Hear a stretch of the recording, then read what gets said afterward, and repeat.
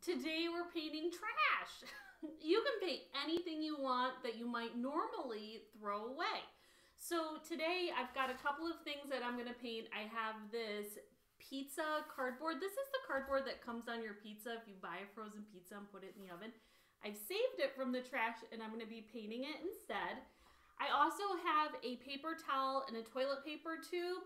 Um, these are the items I'm going to be painting today, but you can paint any piece of trash that you want. A cereal box is a really great example, some bubble wrap. I'm even going to be putting my paints today on a piece of trash. So this was the top two, some Swiffer wet jet pads that we had used up, and I'm going to be putting my paints right on this reflective surface because it's um, plastic and the paint won't stick to it. Now, any kind of paints will work for this project. If you're using watercolor paints, they will be a bit lighter and they work best on cardboard or paper-like materials.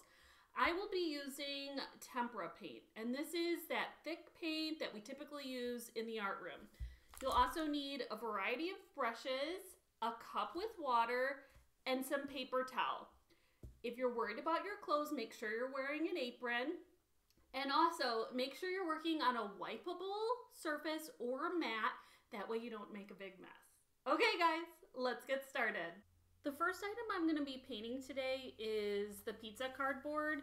And it's kind of just like painting on paper, but it's brown instead of white.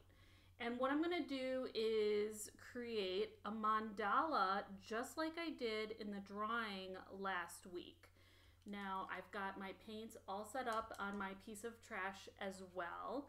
And I'm just gonna go around and I'm going to paint the mandala like I would if I was drawing it with a pencil, but I'm gonna do it with paint. A couple of key things about mandalas is that you wanna start with a small center and it can be any shape or tiny picture. And then you want to go around that with another line, design, or shape. And then keep building on that until you get all the way to the edge. Now, when we were drawing mandalas before, we were on rectangular paper and now we're using a circle. So it's going to actually all end hopefully at the same place. All right. I'm going to keep painting this and I will fast forward it so you can see what it looks like when it's done.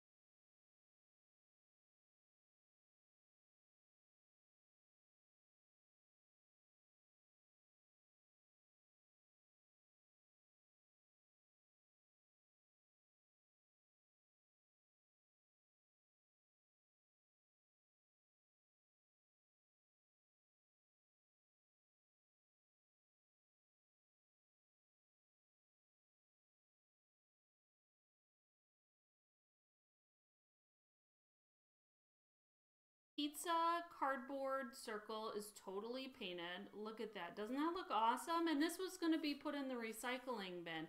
It's this great mandala inspired by last week's project. And now this is something you could totally hang up on your wall or your fridge. All right, I'm going to get to painting a cardboard tube now.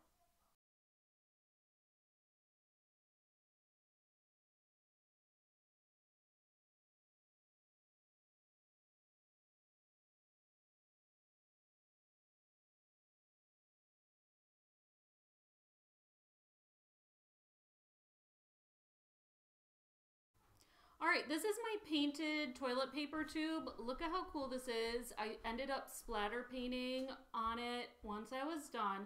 This would look really cool with some yarn put through it and you could wear it as a necklace. You could make a bunch of these and make them decorations maybe on a windowsill.